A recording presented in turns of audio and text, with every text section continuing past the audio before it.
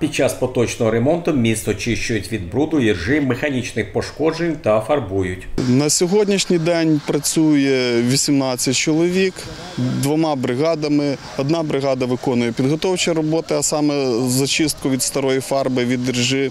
Друга бригада виконує пофарбування перильної огорожі. Вартість даних робіт е, буде розрахована вже по факту виконання робіт, але на фарбу витрачено 2,5 тисячі гривень.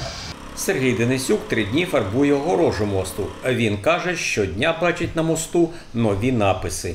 В першу чергу це ставлення людей таке похабне до цього всього. Ну, стараємося, трудимося, результат самі бачите. Це ненормально, звісно. Треба, щоб була красива, е, щоб люди могли тільки любуватися нашою природою, яка в нас дійсно є, чим любуватися. І гарно ходить. Я вважаю, що це не тільки неповага до тих, хто виконує цю роботу, а й до всіх житомирян.